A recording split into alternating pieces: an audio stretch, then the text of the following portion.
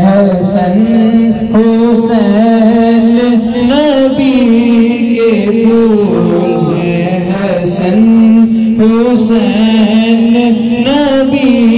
फूल इन्हें थे मेरे रसूल इन्हें थे मेरे रसूल अच्छा जी, आप भी आ जाए। मैं पीछे आपका ऐसे से रोज नहीं आई पाँच में। दो है ठीक है। हमारे यहाँ के मशहूर देखभाल बाबू साहब अंदर लाई जो बड़ा अंदर जो लोग तो बना यार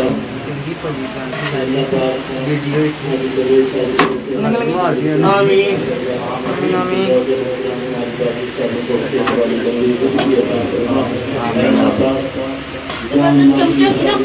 हाँ ना हाँ ड्रम भी काम करेगा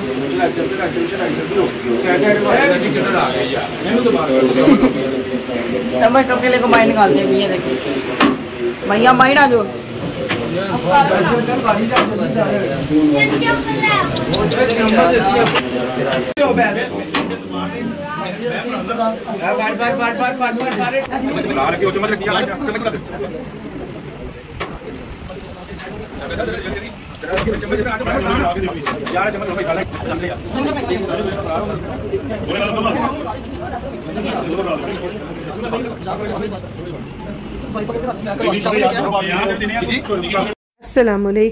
Welcome back to another vlog उम्मीद करती हूँ आप सब ठीक होंगे। अल्लाह के फजल करम से मैं भी बिल्कुल ठीक हूँ। अल्लाह ताला हम सबको अपने घरों में खुश आबाद रखे, हर दुख, हर परेशानी से दूर रखे। आमीन सुम आमीन तो स्टार्ट करते हैं जी आज का व्लॉग घर में महफिल थी चूँकि वो तो आप पहले देख चुके हैं तो फिर आज था जी को कल रात को थी महफिल तो आज सुबह ना कुटलेन की थी बर्थडे। तो बस मैं बर्थडे की प्रिपरेशन मैंने स्टार्ट कर दी है, यहाँ पे मैं आज बर्थडे पे जो भी रेसिपीज़ बनाऊँगी, वो सारी शॉर्ट्स में बनाऊँगी। तो रेसिपी इन ना शॉर्ट्स में आपके पास आ जाएँगी। तो अभी तो यहाँ पे बस मैं तैयारी कर रही थी, क्योंकि शॉर्ट्स एवं थोड़ी बन जाती हैं, सारी चीज़ें प्रिपेयर करके रखनी पड़ती हैं, क्योंकि फिर एकदम से सब चीज़ें डालनी होती हैं। तो चीज़ें सारी रेडी होती है ना तो फिर मैं मेज़रमेंट करके ना तो फिर मैं रख लेती हूँ। तो मैं सबसे पहले तो मैं बना रही हूँ chocolate fudge cake chocolate fudge cake की रेसिपी इंशाल्लाह शॉर्ट में आएगी तो आप ज़रूर ट्राई कीजिएगा। तो बस यहाँ पे रेसिपी स्टार्ट हो चुकी थी तो साथ साथ मैं थोड़ा सा आपको दिखाती भी जा रही थी कि मैं क्या क्या कर रही हूँ। पहले मेज़रमेंट मैंने करके रखी थी, अब यहाँ पर मैंने रेसिपी स्टार्ट कर दी हुई है। और किचन में आपको दिखाती हूँ। ये शॉर्ट्स मैं बना रही हूँ साथ साथ में देखें जी किचन की हालत आप देख सकते हैं, इस तरह से कैसे बिखरी हुई है।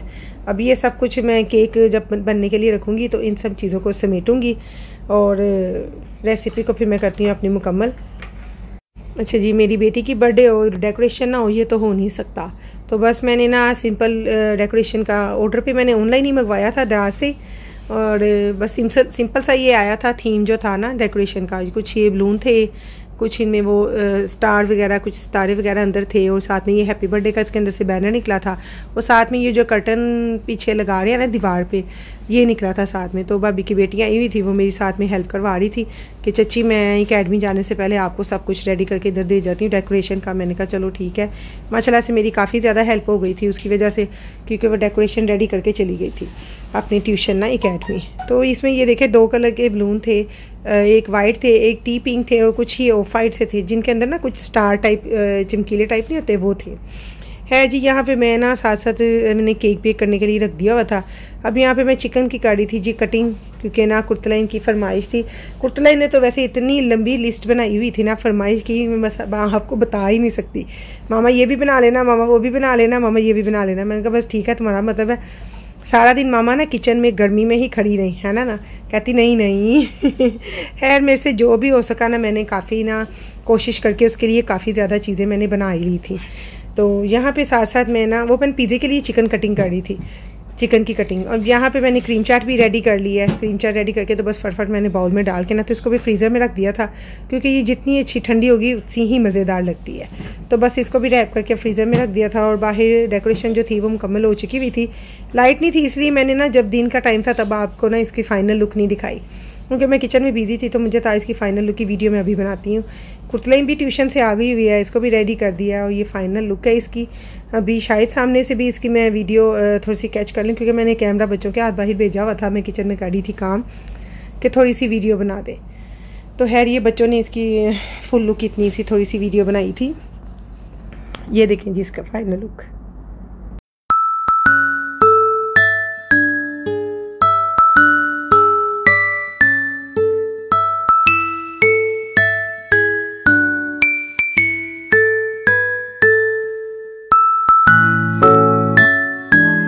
जी यहाँ पे कुर्तलाइन रेडी हो गई थी, लेकिन साथ साथ ना इसको बड़ी आदत है, इसके बालों पे कोई पिन लगा दें शूज़ पहनाए हुए हैं ना तो फ़ौरन उतार देती हूँ। मैंने फिर डांटा के फ़ौरन शूज़ पहनो अपने पाँव में, और ये कुछ बलून बच्चों ने फैला के ना नीचे ज़मीन पे भी बिखेरे हुए थे। ये भाभी की छोटी बेटी को भी साथ मैंने नीचे बुला लिया हुआ था। ये सुबह से मेरे पास नीचे थी कि चची क्या करवाना है? छोटे छोटे मेरे साथ बड़े काम की हेल्प करवा रही थी, क्योंकि ये सुबह सुबह ट्यूशन पढ़ लेती है ना तो मेरी बेटी तो जाती है चार बजे तो ये मेरे पास सारा दिन नीचे ही थी। तो मैंने इसे कहा, फिर बर्थडे पे भी तुमने नीचे ही रहना है। तो फिर ये बर्थडे पे भी आ गई थी रेडी होके ना। तो बस यहाँ पे जी हस्बैंड माशाल्लाह से आगे हुए थे तो अल्लाह ताला सब बेटियों के नसीब अच्छे करे, अल्लाह ताला मेरी बेटी के भी नसीब अच्छे करे जी, माशाल्लाह से। और माशाल्लाह बोल दीजिएगा, अल्लाह ताला नज़र बद से बचाए जी। और बस ये मैंने कुछ छोटी छोटी सी चीज़ मतलब कि थोड़ी थोड़ी क्वांटिटी ही मैंने चीज़ें थोड़ी सी रेडी की थी, वो मैं अभी आपको दिखाऊँगी। केक कटिंग कर लेना तो फिर।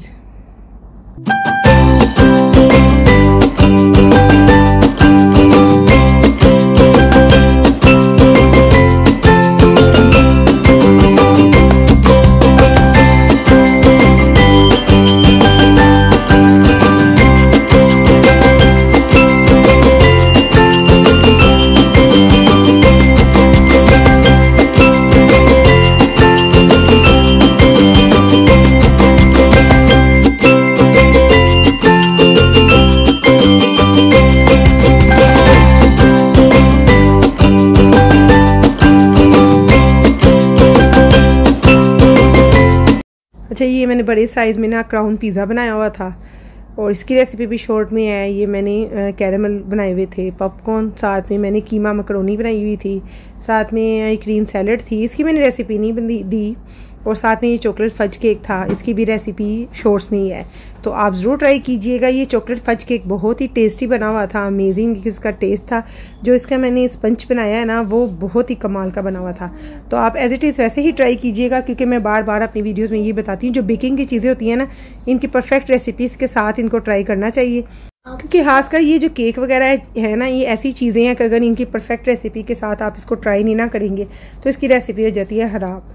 तो है जी, यहाँ पे अब ना, ये बलून जो थे साढ़े नीचे इकट्ठे पड़े हुए थे। ये लोग इकट्ठे कर रहे थे कि कुर्तला इनके ना ऊपर इसकी बारिश करते हैं बलून्स की।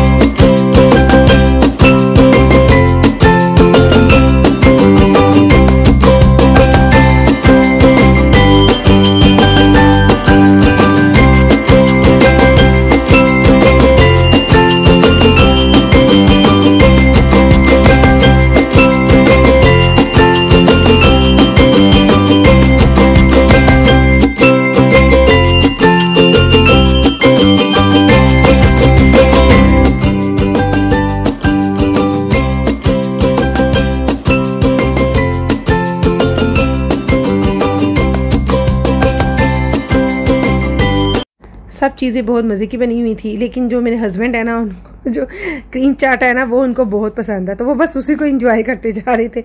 मैं साथ साथ उनको छे रही थी कि कोई और चीज़ भी साथ में ट्राई कर लें। अच्छा यहाँ पे पीजी की आप फाइनल लुक देखें, माशाल्लाह से, अल्हम्दुलिल्लाह। बहुत ही टेस्टी बना हुआ था। बस मैंने आपको दिखाने के लिए वीडियो में एक बाइट ले ली थी इसकी।